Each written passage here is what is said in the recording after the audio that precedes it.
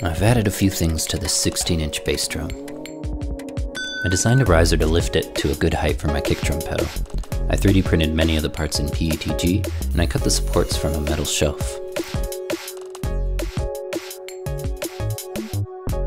Captive nuts hold the spurs in place, and a piece of a yoga mat adds some grip to the bottom. I cut a notch in the batter side rim to allow clearance for the pedal's belt. I reinforced the spot with a 3D print, this part of the rim will be weaker. I designed extended spur mounts that let me set the feet forward, supporting the front of the drum at the correct height. And, most recently, I installed a subwoofer in my drum. I'm excited for this. I have a few things I'd like to try with this setup. However, I should have tested the speaker first. Yeah, listen to this crunchy thing. The voice coil rubs and the speaker is seized, so the sub kick is on hold for now.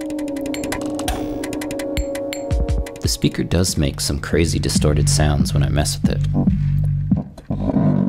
In an attempt to make the most of the situation, I recorded a sample pack of distorted kick sounds. Stay tuned for more info.